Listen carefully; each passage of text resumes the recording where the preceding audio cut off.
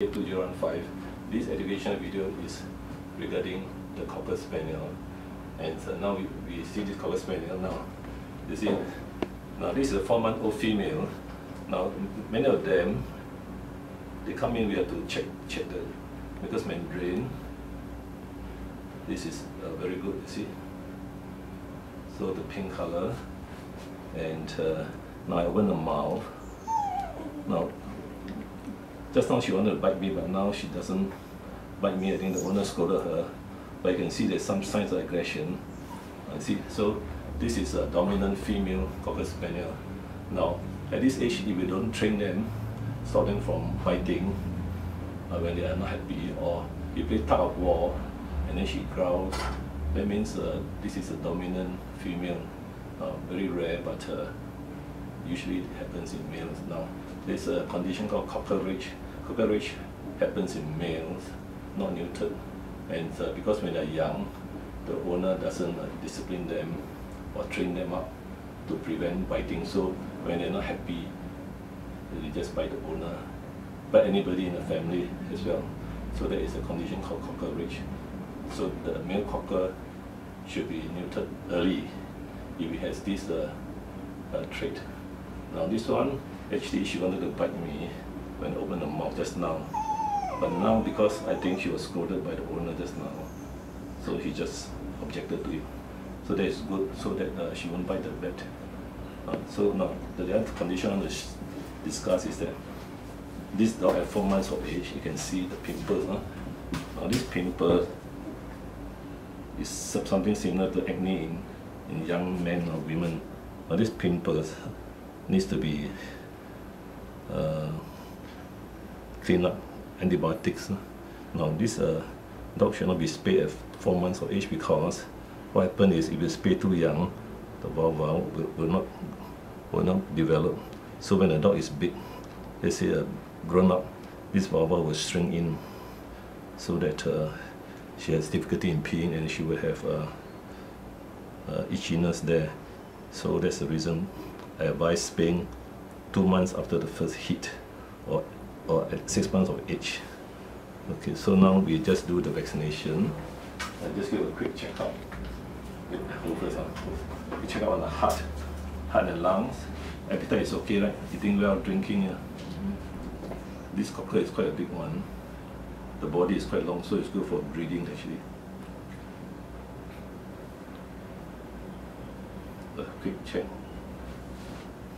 Any coughing? No. Diarrhea, vomiting? No. So it's okay. No, the stools are normal. Good. Temperature is normal. So after that, I just have a quick palpation of the abdomen. See any lumps or pain? There's no pain. You can see the dog's reaction. Okay, so now I just give the vaccination. Come sit down first. Sit down. So vaccination, the, the third vaccination under the skin, just talk to her.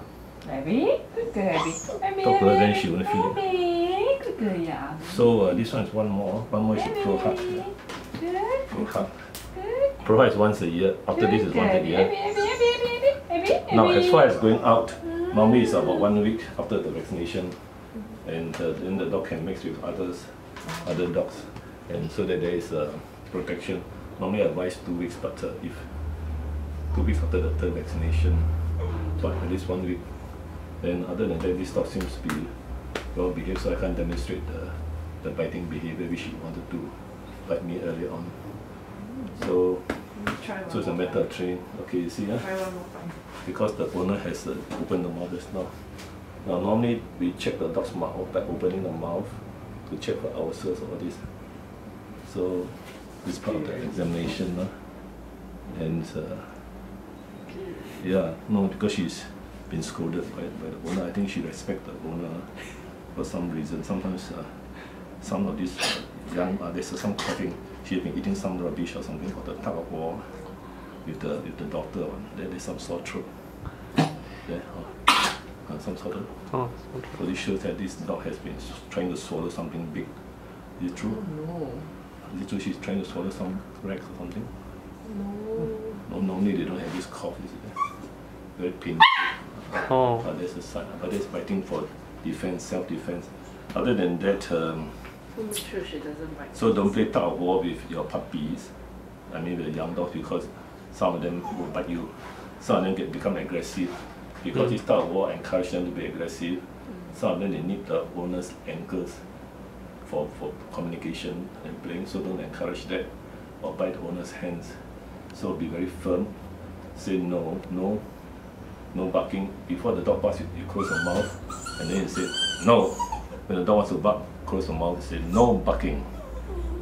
And then some owner they will just no barking like that. Mm. But of course, at this age, it's very impressionable. So if you don't train at three to four months old, and then by the time the hormones come in at six months, the dog is uh, rebellious and it's very hard to train.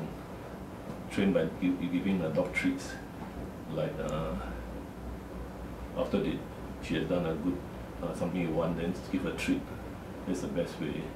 But uh, if the dog is very cunning, they will wait for you to. Uh, to, to uh, give a treat before they do it. So it's up to how you do it. Especially toilet training. How about toilet training? Is it done? Paper? On and off, still accident. So how long you have the dog? Two months. Two months means no good. No lah, one month. I one one and a half month. Initially it was very good, but after now uh, it's all Okay, half then- the time is everywhere. Ah, that means you let the dog out too early. So so the dog has not, hasn't got to the to the place where the toilet is. So when the dog is the puppy is let out too too too early and then goes around the whole apartment. Mm. That's why she forgot Oh, she the area where she's supposed to pee and poo. But some puppies are more intelligent. Is it the paper, newspaper, or, or The pee pen, the Oh. yellow big one. so quickly confine back to the, Mm. the same area and then slowly let out twenty percent, thirty percent, forty percent. Not Oh. whole- not the whole apartment, right? Yeah, Uh, the, that was a mistake, and then uh, the whole apartment is full of urine smell. So this dog Mm. pees everywhere because everywhere there is urine smell. So now you have to confused already. decontaminate the, the, the other rooms. Mm. Uh, normally I advise uh, white vinegar plus water, one part to three parts of water, and then use cloth and, and neutralize the, the smell of urine in all the rooms, Mm. except the area where she's supposed to, that means the pee pen, right? Or otherwise, by the time you wait another two months, it's almost impossible to toilet train. Okay, thanks. Okay, finish.